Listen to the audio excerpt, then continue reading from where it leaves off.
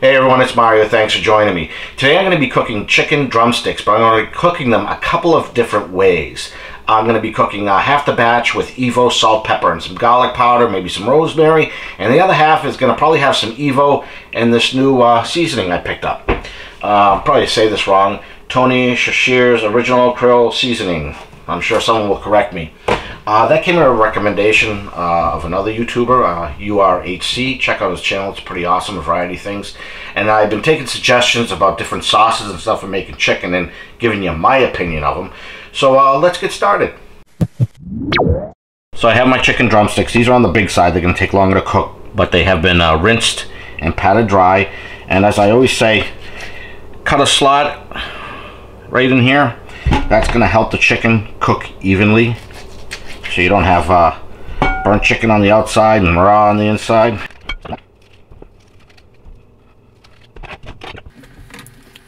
Put a little bit of olive oil on here. Make sure these are well coated. Someone asked if olive oil was really a necessary thing on this. Um, it's just the way I've always done it. Uh, it's going to give it some taste. It's going to help with crisping depending on how you're preparing it. So for me, this is how I like it. I'm going to take three and put them in this plate and leave three in this bowl and I'll show you why. Okay, for what's in the bowl, I'm going to use some pink Himalayan salt,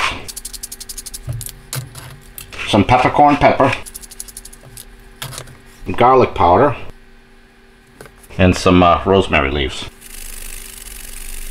And this is typically how I always have prepared my chicken in the past, with a couple of exceptions, like with Kentucky Colonel, things like that.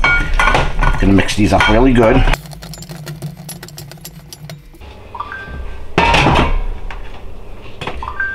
Gonna spray it with some uh, olive oil on the bottom. And I'm gonna put the three pieces of drumsticks that are just seasoned with salt, pepper, and garlic powder in here. I'm hoping I don't run into a space issue simply because, uh, you know, it's kind of full. So let's get this bowl out of here. Now I have this uh, seasoning here. And uh, it was recommended by URHC just to put minimum down. You know, you don't need a lot.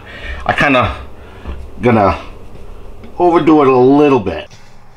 That's one side. I'm just gonna pat it in. Now I only have one air fryer as mentioned, so uh, ideally I would have two identical air fryers, but that's not going to happen here. So as long as there's no, not too much cross-contamination. So I'm going to put the seasoning I bought in the back and hope for the best here. So just the smaller end, leg, foot is going to be touching, so hopefully there's not too much contamination. And we're going to get this in the air fryer.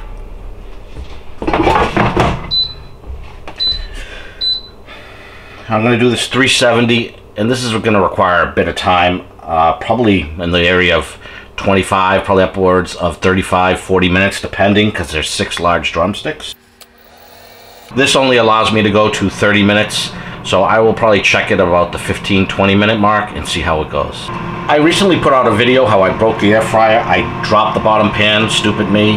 Uh, I'll put that link up in the description. Uh, my new pan uh, is slightly larger and as it heats up these gaps become tighter. So when I pull it out halfway through to check to see how it's cooking it gives me a little trouble to put it in.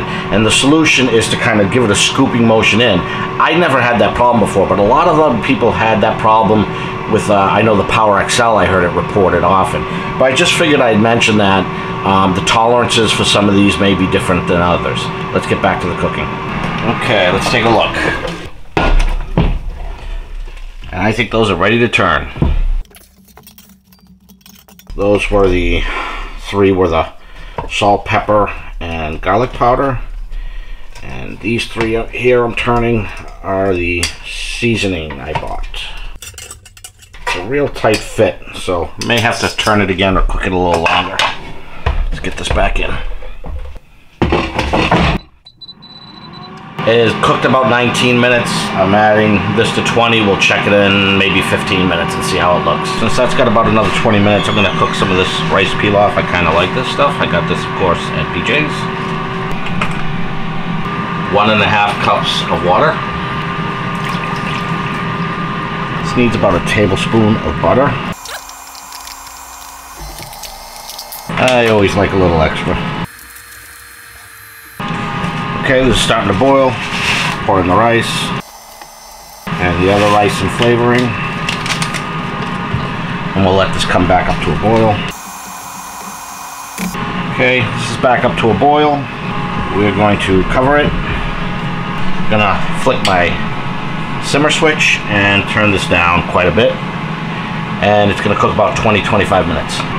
I'm gonna turn the temperature up on this to 400 for five minutes and I'm gonna flip it in another five minutes because I want uh, it to have a crispy outside to it. Okay, that's been a few minutes at 400. I'm gonna take it out. Okay, as I mentioned, I'm gonna flip this one more time at 400 so that both sides are nice and crispy. Let's get those back in.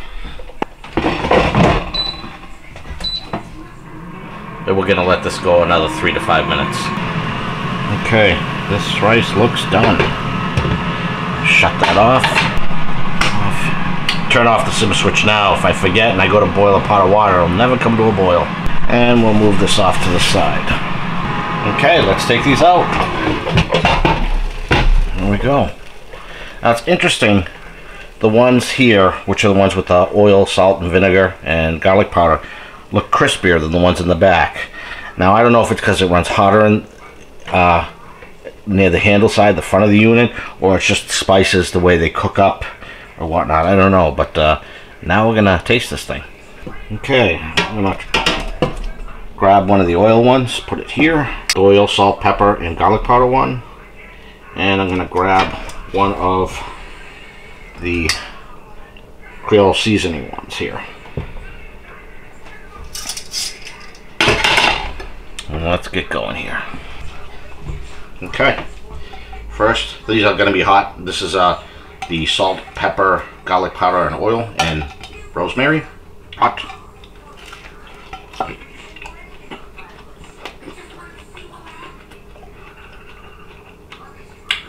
Always delicious. Ooh. Hot, hot, hot.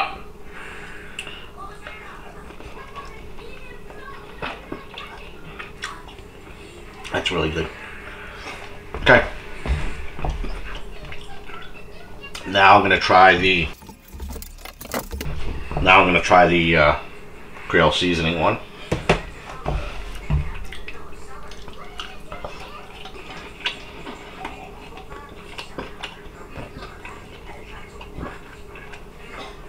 That's pretty good.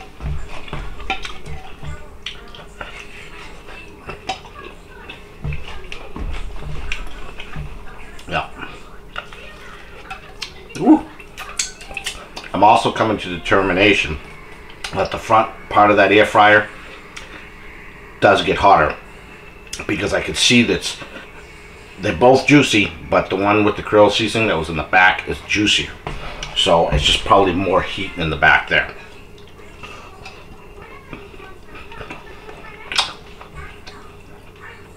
It's got a little bit of kick to it, but it's good.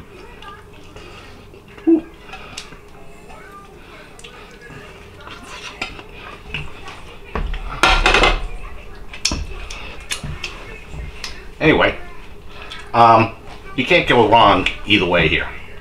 Uh, everybody's got salt and pepper, and you know oil, of course, and the garlic powder, and I use the rosemary. Excellent. The Creole seasoning, or again, someone correct me. That's very good too. Has a little bit of spice to it, and uh, you know it's something different, and I like different. And I'd like to thank uh, URHC for recommending this. Uh, pop his link up in the description to his channel. And I really appreciate the people who've uh, made suggestions to me to different sauces and whatnot and recipes and whatnot. Keep them coming because I want to try them. As mentioned, I'm not a great cook, but I'm I'm trying here, and uh, I think the experimentation is good, and it helps other people out in the end. So anyway, if you like this video, please give it a thumbs up. Please consider subscribing and hit the little bell to subscribe so you know when I uh, publish a new video, and I'll see you on the next one.